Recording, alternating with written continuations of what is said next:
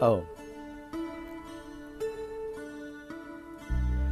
Khandi sala hai, khandi sala. Art in nature. Uh,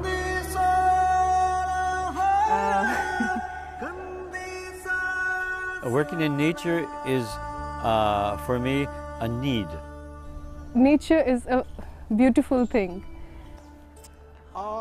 Nature is a god, and it must be maintained as a god and respected.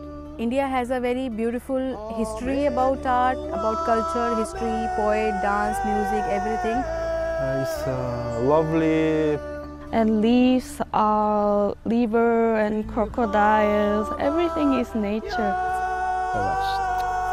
different history and different uh, phenomenon and different culture. Pythagoras, water, fire, dirt, earth, air.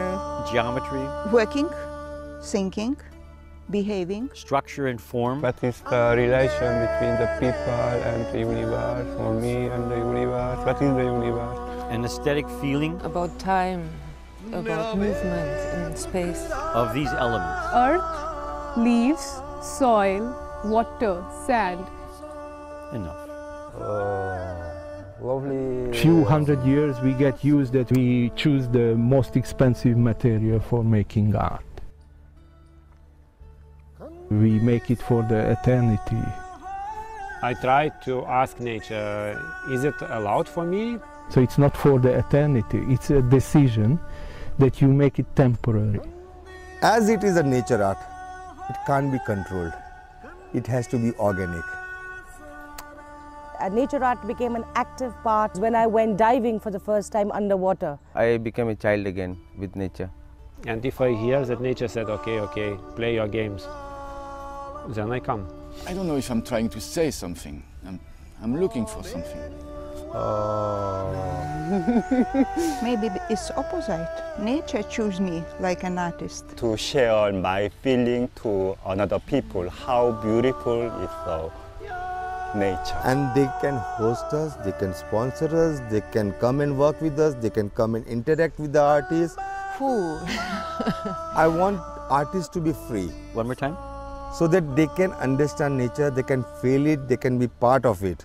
Everybody thinks, well, if you're working in nature, you're enjoying nature and you're having fun. But I'm working. I'm a professional artist.